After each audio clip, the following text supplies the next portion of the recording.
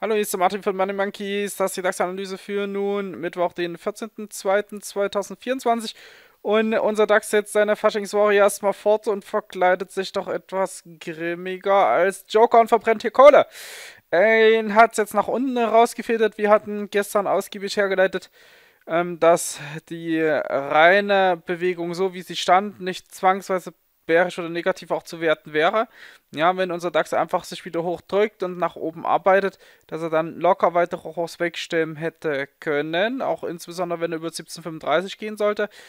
Ähm, das Einzige, was er machen sollte, war über 17.000 nach oben zu drücken. So, ich denke, von Beginn an habt ihr klar sehen können, dass der nicht nach oben getrieben hat. Auch war wirklich sichtbar von, von wirklich eigentlich der ersten Minute an, dass der ein bisschen anders drauf war an den Tag. Und hier auch mal wieder, muss man ja mal sagen, mal richtig schöne Bewegung geliefert hat. Ähm, wir hatten gestern gesagt, dass die untere Kante für mich auf die 69 nun rutscht und er sich unter 69 wieder Platz zur 68, nee, bis zur 29, 860 und 800 aufmachen würde. Ne? So haben wir es gestern gesagt, glaube ich, ne? Ähm, dass er dann die Aufwärtsbewegung hier erwirkt und dann quasi das wieder nach unten sich frei macht. Und genau, 29, 860 und 800 frei macht, so, so hieß es gestern. Das haben wir abgearbeitet, sind hier unten jetzt auch ins Ziel gelaufen, haben sowohl Trendlinie als auch die letzten Tiefs angelaufen. Ähm, von dort auch bereits deutlicher reagiert wird es ihm natürlich nur noch einfach machen, jetzt hier wieder aufzudrehen und das zu kontern. Ähm, wir handhaben das ja jeden Tag letztendlich so, ne? dass wir letztendlich eine, einen Bereich festlegen, über dem der Markt eher eine Tendenz nach oben bekommt, einen Bereich, wo wir auch sagen, hey, da Vorsicht, eher vielleicht nach unten orientieren.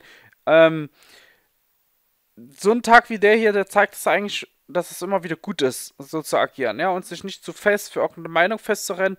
Und das möchte ich auch als Anlass nehmen, hier jetzt vielleicht nicht zu sehr auf der Short-Flinte jetzt mit aufzuspringen und sich hier jetzt schon auszumalen, wie geil denn der irgendwo fallen wird, weil er hat oft die letzten Tage, Wochen immer mal wieder irgendwas nach unten rausgestellt und dann am nächsten Tag die Hälfte davon schon wieder ausgeglichen und einen Tag später stand er schon wieder höher. Also da wäre ich noch vorsichtig jetzt hier schon zu viel rein zu interpretieren, aber ich muss auch sagen, die Art, wie er gefallen ist, die eignet sich durchaus da auch mehr an Strecke rauszuholen. Also das muss man ganz klar sagen, so wie er gefallen ist vom reinen Bewegungsabbild, von den untergeordneten Strukturen, kann da durchaus mehr draus werden. Deswegen können wir vielleicht damit anfangen, dass wir sagen, wohin fällt er denn, wenn er weiterfällt? Sollte er die letzten Tiefs aufgeben, und da reden wir wirklich alles, was hier bis 25.01. angefallen ist, würde ich davon ausgehen, dass der hier unten ins Gap rein nagelt. Die 660 zumacht, ah, vielleicht ein bisschen tiefer steht, hat er Platz bis 6, 600 ähm, und dann vielleicht von dort sogar schon erstmal wieder zurückkommen. Sollte er auch unter 600 fallen, müsste man davon ausgehen, dass diese Trendlinie hier, die da unten anlaufen wird, da reden wir dann schon wieder über fast ähm, Ziele um 300, 350. Ja, warte mal, ich muss mal den Magneten ausmachen oder so passt es. Ja, also würde wirklich denken, dass es sich dann bis 365 hier unten die, die Kante vielleicht noch ein bisschen beachten um 460. Na, sodass man sagen kann, unter 600 bekommt er einen Touch. Wir sehen auch hier von den letzten Tiefs, da ist dann einfach nicht mehr viel an Support. Ja, da haben wir hier bei 510 noch einen Support, dann im Bereich um 460 und dann geht das wirklich schon unter die 400 bis in die 360 rein. Ähm, ja, Punkt. 360 rein, 350, 360. Das wären die Möglichkeiten, wenn er uns weiter nach unten arbeitet und zum Fall, Verfall tiefer abrechnen soll. Wartet, ich mache noch meinen falschen Schick. Tut er das aber nicht, würde ich davon ausgehen, dass er sich jetzt hier einfach wieder, also ähnlich wie wir das jetzt hier die ganzen letzten Male gesehen haben, einfach so wieder ein bisschen nach oben hangeln und in die Bewegung wieder so zurücklaufen. Ja, wird das vielleicht sogar so anstellen, dass man, dass er hier so eine erste Bewegung irgendwie so in die neuen, ja, vielleicht sogar 900 bis 950 im breitesten, 940 vielleicht sogar nur, ja, ähm, 900 bis 940 reingeht, dort versiegt, zurückkleckert und am nächsten Tag dann nochmal oben raussticht. Ähm, so wäre meine positive Erwartungshaltung. Das heißt, auch wenn er jetzt schön nach unten angelaufen ist und auch wenn er mal ein bisschen überrascht hat auf der Unterseite, bestimmt den einen oder anderen auch aus der Reserve rausgelockt hat, ähm, ist er ja trotzdem noch immer in dieser Seitwärtsspanne, noch immer in dieser Range und äh, per se jetzt äh, noch nicht akut gefährdet, das muss man schon so sagen. Ja. Ähm, das heißt, er hat stand hier auch noch relativ leichte Chancen, das auch unmittelbar direkt wieder auszukontern, ohne sich hier gravierenden Bein zu brechen, ohne sich hier irgendwie was auszureißen. Ähm, die übergeordnete Aufwärtstendenz bleibt ja noch bestehen. Die ist ja noch immer intakt. Ja, das muss man auch so festhalten. Ja, auch von, von dem Bewegungsbild könnte das ja auch ein in sich geschlossenes, komplettes Muster sein. Und dann wird jetzt wirklich wichtig, wie verhält es sich denn jetzt am Mittwoch? Wie geht er hier mit den neuen Tiefs um? Nimmt er die Tiefs genauso gut an, wie er jetzt zum Dienstag neue Tiefs angenommen hat? Deshalb muss man, der hat der ist wirklich schön gelaufen, ne? Der, der hat äh, die Stationen alle Astreihen angelaufen, egal welche, welches Niveau erreicht wurde. Der hat immer wichtige kleine Zwischenziele angelaufen, ist dann wieder zurückgekommen, hat sich dann an ich glaube, außer die, die, der Move hier, der war ein bisschen zu früh weggedreht, aber hat sich immer wieder an wichtigen Stellen auch wieder nach unten weggedreht. Neue Tiefs wieder bis ins nächste Ziel rein, wieder zurück. Also auch wenn ich überlege, was wir heute im Premium an Marken und Zielbewegung rumgeschickt hat, das hatte eigentlich schön, das hat wirklich gut gegriffen hier. Das hatte direkt angenommen. Ähm, auch auf die 69 hier, da hat man auch gesagt, von 69 auf neue Tiefs, dann macht er weiter. Also das hat schon gut gepasst. Und äh, was wollte ich jetzt eigentlich sagen?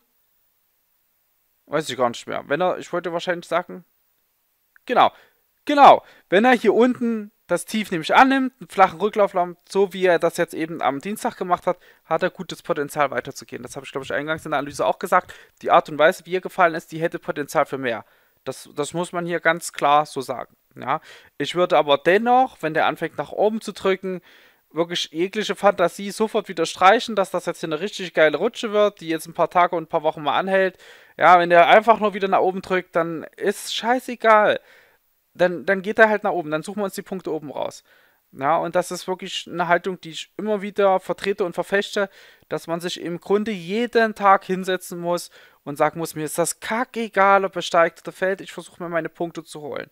Ja, und die meisten, die werden einfach emotional, die wollen unbedingt, dass das, was sie sehen, dass das, was sie haben, ähm, dass das eintritt. Ja, also die einen, die sind dann short, die anderen sind long, sagen, das geht eher oben raus und dann dreht der Markt nach unten und dann vor, verkrampfen sie so in der Bewegung und handeln dann die ganze Zeit eigentlich gegen die Bewegung, weil sie es ja andersrum haben wollen und das geht dann immer in die Hose.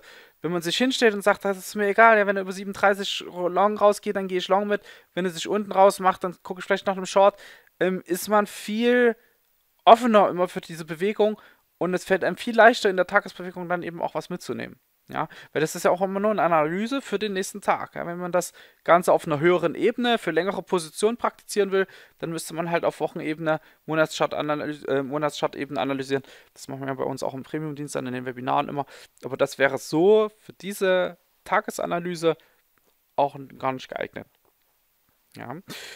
Also, Fakt ist, drückt er nach oben, ich traue ihm voll zu, dass er wieder in die 900 zurückläuft. Ja, ohne Probleme, weil jetzt trifft einfach das Muster der letzten Tage vollkommen. Und schiebt er sich noch drunter, gucke ich mir sehr, sehr, sehr genau an, was er an dem neuen Tief macht. Nimmt das an oder nicht. Und dann sind 37 hier die Gap-Kante und 660, 660 halt, ne? Also da, die, die Marke, die habe ich schon tausendmal jetzt in, die, in, den Mund genommen die letzten Wochen. Die können da auch mal closen. Das wäre auch mal interessant. Ja, dann wäre das Ding vom Tisch und dann könnte man sich von hier unten vielleicht einen Rücklauf, von da unten dann an die 87 ran, 97 ran, 800 ran, 660, da wieder hoch. Wobei ich nicht glaube, dass der 660 genau trifft. Also der wird bestimmt ein bisschen überreißen, weil der unten dann schneller wird. Ja, also 6, ich sag mal so 630, 660, irgendwie so in dem Dreh rum, wieder hoch an die 800. Das wäre eigentlich der interessanteste Move, den er bringen kann jetzt im Wochenverlauf.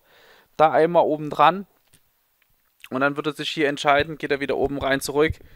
Ja, dann wäre das positiv, dann kann er auch wieder 17.000 lassen oder er stößt sich dann von hier ab und läuft weiter runter und dann kriegt er wirklich noch Potenzial bis 300.